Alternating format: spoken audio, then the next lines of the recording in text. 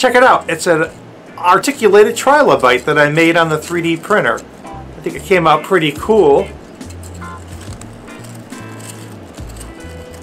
Just like the trilobites used to uh, used to swim.